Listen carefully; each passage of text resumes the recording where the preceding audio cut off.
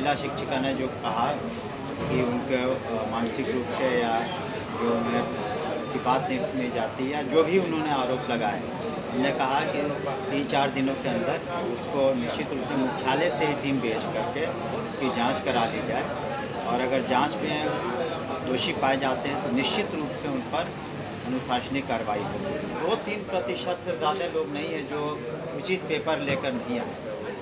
कुछ टेक्निकल चीज़ें हैं, कुछ पेपर लेकर नहीं आए, लेकिन पंचानवे प्रतिशत से अधिक हम कहेंगे कि जो पेपर लेकर आए हैं करीब करीब सही था। लेकिन फाइनल आंकड़ा हम बता पाएँगे जब काउंसलिंग पूरी हो जाएगी जो अपनी ड्यूटी समय पर मन लगा कर करें और अपना व्यवहार बहुत ही सही रखें। बालक बालिकाओं के प्रति या उनके अधीनस्थ अन्य शिक्षक या शिक्षिकाएँ हैं और कहीं भी कमी पाई जाएगी या दुर्व्यवहार के मामले आएँगे या प्रताड़ना के मामले आएँगे तो उन पर हम लोग सख्त से सख्त कार्रवाई करें। इस संबंध में, देखिए, अभी तक तो विभाग का यही निर्णय है कि इम्तहान के थ्रू, एग्ज़ाम के थ्रू, या तो जो नए लोग थे, बीपीएससी के थ्रू आए, या फिर जो सक्षमता परीक्षा के थ्रू आए, और पुनः हम लोग जो कंप्यूटर टीचर का नियुक्ति कर रहे हैं या प्रधानाध्यापक का या फिर प्रधान शिक्षक का। तो अभी तक व्यवस्था यही है। वो लोग हमसे मिले थे। हमने कहा था कि ठीक है आपकी बातों पर हम अवश्य गौर करेंगे लेकिन ऐसा अभी कोई निर्णय नहीं लिया गया। है और कोई प्रश्न? सर फुलवारी सैलरी से एक महिला शिक्षिका आई थी। उन्होंने आपसे गुहार लगाया है कि उनके प्रभारी के द्वारा उन्हें प्रताड़ित किया जा रहा हाँ। आपको बता दें कि तत्काल हमने डायरेक्टर प्राइमरी एजुकेशन जिसके अधीन वो प्राथमिक विद्यालय आता है फुलवारी का, हमने कहा है कि मुख्यालय से ही एक टीम बना करके महिला महिला ने शिक्षक महिला शिक्षिका ने जो कहा कि उनके मानसिक रूप से या जो उन्हें की बात नहीं सुनी जाती या जो भी उन्होंने आरोप लगाए, हमने कहा कि तीन चार दिनों के अंदर उसको निश्चित रूप से मुख्यालय से ही टीम भेज करके उसकी जाँच करा ली जाए। और अगर जाँच में दोषी पाए जाते हैं तो निश्चित रूप से उन पर अनुशासनिक कार्रवाई होगी पूर्व में भी कुछ जांचें हुई हैं और जहाँ भी जो दोषी पाए गए हैं, उन पर हमने निलंबन की कार्रवाई की है। जी।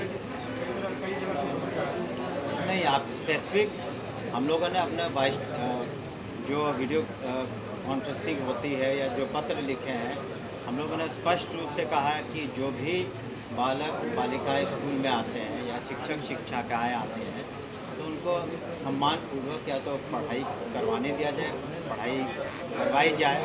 और लेकिन आप जानते हैं कि हर महकमे में कुछ न कुछ लोग ऐसे होते हैं जो अनुशासन का पालन नहीं करते हैं या कभी कभी गलत हरकत करते हैं।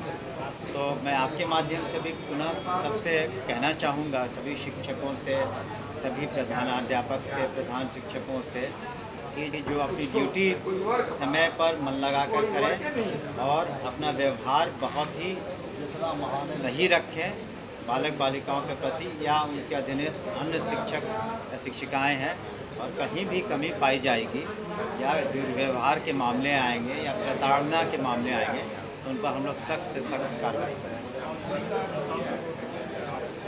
काउंसलिंग का काम अभी सक्षमता वाला चल रहा है।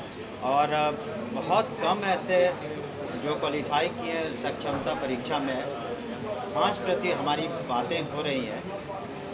दो तीन प्रतिशत से ज़्यादा लोग नहीं हैं जो उचित पेपर लेकर नहीं आए। कुछ टेक्निकल चीज़ें हैं, कुछ पेपर लेकर नहीं आए, लेकिन पंचानवे प्रतिशत से अधिक हम कहेंगे कि जो पेपर लेकर आए हैं करीब करीब सही था।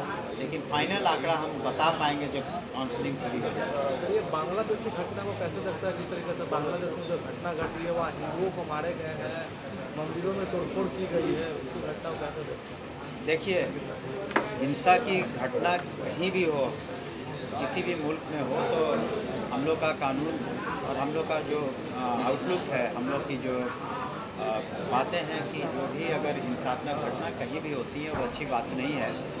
और कल ही माननीय मंत्री जी ने संबोधन किया था प्रेस को और कहा था कि हम लोग भी अपने बॉर्डर इत्यादि पर जो भी सुरक्षा के इंतज़ाम हैं, जो बी एस एफ़ वगैरह इत्यादि के पास से बॉर्डर सिक्योरिटी फोर्स या अन्य फोर्सेस जो हैं पैरा मिलिट्री के, वो लोग अलर्ट रहेंगे। और वो अंदरूनी मामला उस देश का, लेकिन हिंसा कहीं भी किसी भी देश में सही नहीं है ऐसी अभी तक हमें कोई सूचना प्राप्त नहीं हुई है कि या तो एक्सटर्नल अफेयर्स मिनिस्ट्री से या डायरेक्ट किसी ने हमसे संपर्क नहीं किया है कि कोई स्टूडेंट का मामला है। अच्छा